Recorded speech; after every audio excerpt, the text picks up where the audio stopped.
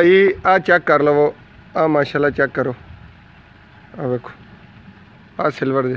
ਆ ਮੈਂ ਇੱਕ ਛਾਪੜ ਦਾ ਟ੍ਰਾਇਲ ਆਇਆ, ਮੈਂ ਕਿਹਾ ਜ਼ਰਾ ਟ੍ਰਾਇਲ ਲੱਗ ਜਾਵੇ ਨਾ ਤੇ ਫਿਰ ਜ਼ਬਰਦਸਤ ਮਾਹੌਲ ਬਣ ਜਾਏਗਾ।